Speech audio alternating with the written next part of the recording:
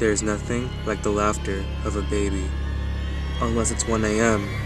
and you're home alone.